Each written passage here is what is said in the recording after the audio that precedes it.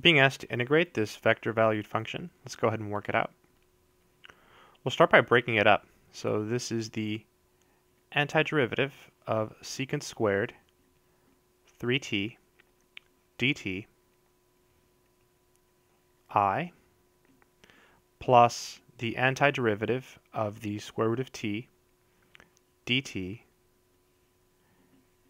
j and then plus the antiderivative of e to the t over 1 plus e to the 2t dt k.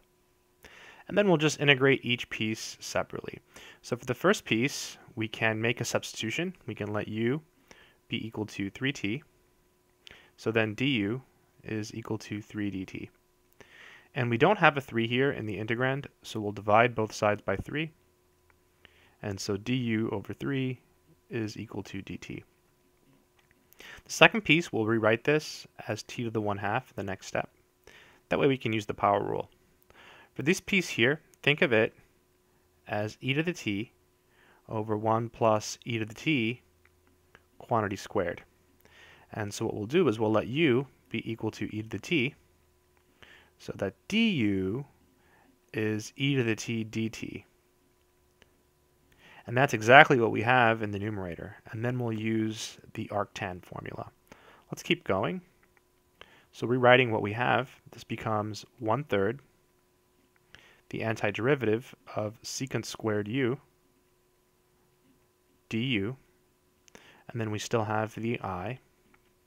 Right, we pulled out the 1 third plus the antiderivative of t to the 1 half dt and we still have the j.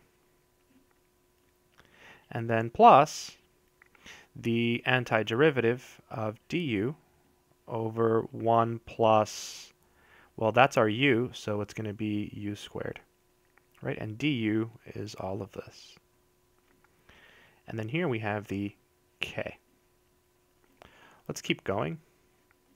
So the antiderivative of secant squared, if you ever forget what it is, just ask yourself, what is a function whose derivative is secant squared? Well, tangent.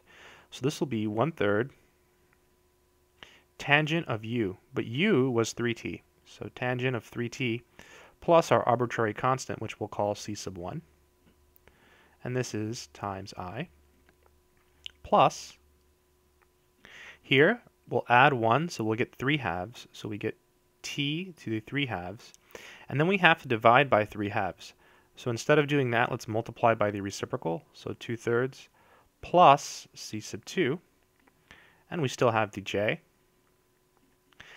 Then this is going to be arctan of u, but u was e to the t. So this is arctan of e to the t plus c sub 3. And here we have the k. To finish, we can write the final answer as follows. This is 1 third tangent 3t i plus 2 thirds t to the 3 halves j plus the arctan of e to the 3t, e to the t, sorry, k, where's the 3? And looks like we can combine the c's and so C will be C1I, C2J, and then C3K. So plus C3K. And that is the final answer. I hope this helps.